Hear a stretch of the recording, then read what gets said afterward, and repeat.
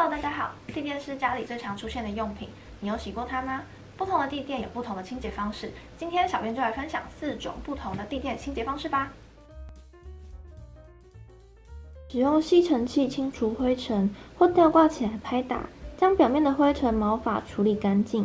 在温水中加入洗衣精或小苏打粉，把地毯泡进去，就可以使用洗衣刷刷洗。把地毯放入洗衣机脱水后晾干就好喽。使用吸尘器或毛絮拖把清除可见的毛发及灰尘。将绒地垫建议手洗或使用洗衣机的弱洗功能，将地垫手挤拧干，吊挂起来风干即可。